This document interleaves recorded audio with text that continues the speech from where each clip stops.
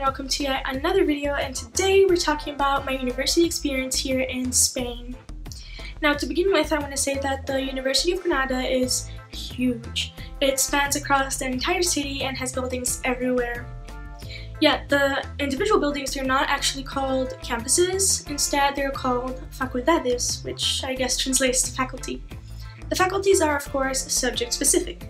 So, you know, you have the Faculty of Law, the Faculty of Sciences, Social Sciences, Medicine, um, Dentistry, Nursing. I mean, there are too many of them for me to list, but you get the idea.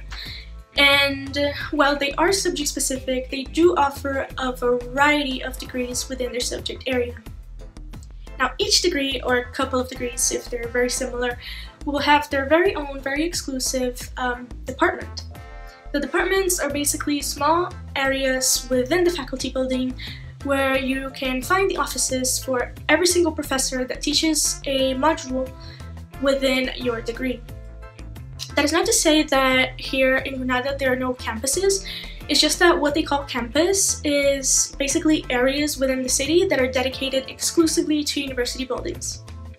I, for example, study at a campus called Campus de la Cartuja, which is this very big area on top of this hill um, that houses about five or six different uh, facultades. I must say the view up there is beautiful, but the climb, yeah, not so fun.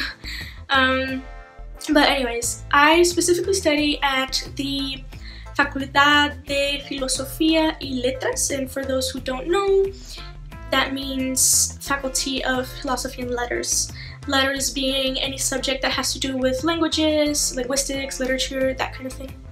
I think this is important to note because at UCL I'm actually a European Social and Political Studies student. And then that kind of begs the question, hmm, then why aren't you with the Social Sciences and Politics faculty at the University of Granada, which exists? And the short answer to that is that all of my language classes at UCL were with the Spanish department, and the Erasmus Exchange is between the Spanish department and the equivalent department uh, at your host university. That, in my case, being, of course, the Faculty of Philosophy and Letters.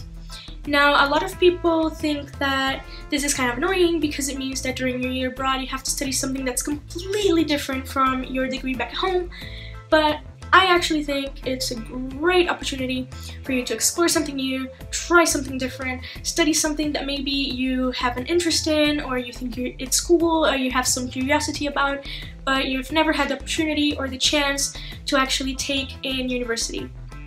Um, and that's exactly what I did. I have always been a artsy person, you know, I like oil painting and drawing and music and you know cinema and all that kind of stuff and now I'm a student of the history of the arts and it's pretty great. This brings me to my second point which is that just because this is you know an exchange between two language departments it doesn't mean that you'll necessarily have to study a language-based degree at least not here at the University of Granada where they're pretty great at giving Erasmus students all the freedom they need to choose both their degree and every single module that comes with it.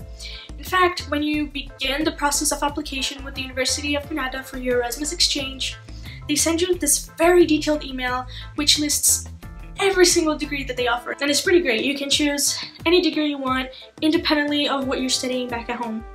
And then not only that, but the email also includes a list of every single module available for each degree, and that way you can make a very, very informed decision.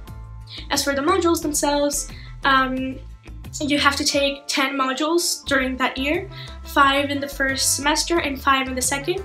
And while it is your obligation to choose modules that don't clash time-wise and that are well distributed between uh, the two semesters, you are 100% free to choose whatever module you want from your degree and four modules, uh, a maximum of four modules from any other degree in the faculty. So while I am a uh, art history student, I'm also taking archaeology, I'm taking forensic anthropology, I'm taking Brazilian literature, um, which are, you know, subjects from other degrees which I was also allowed to take. So yeah, um, I hope this video was kind of informative because it does contain, you know, some of the kind of information that I kind of wish I had when I was choosing which university to go to um, for my Erasmus exchange. And yeah, uh, thank you for watching and hopefully see you next time.